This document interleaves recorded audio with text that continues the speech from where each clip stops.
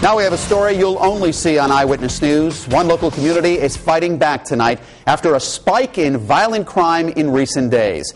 Eyewitness News reporter Stephen Schuler joins us now live from the mobile newsroom with the exclusive story. Well, Mike, just 28 days into the new year, and already Fall River police have responded to 5,500 calls. And after a violent weekend, residents came together tonight to say enough is enough. It was standing room only at this Fall River community meeting as concerned citizens speak out against a jump in violence and crime in Fall River.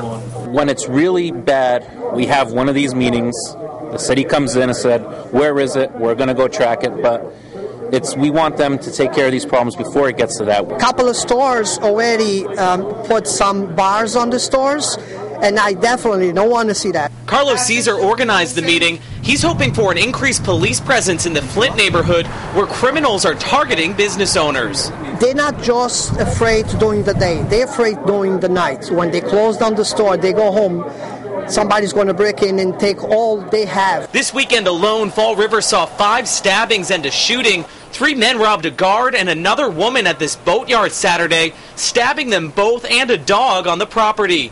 With a nearly 17% unemployment rate and budget cuts across city departments, police say they're doing their best. A public safety, uh, them feeling safe to go from point A to point B without being harassed, without feeling fearing that there something will happen to them. There are a lot more people uh, in Fall River than there are police officers, and we can only be as good as the police officers and the citizens of Fall River combined.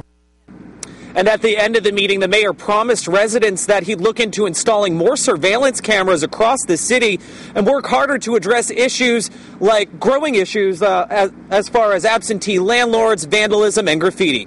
Live with the Mobile Newsroom, I'm Stephen Schuler, Eyewitness News.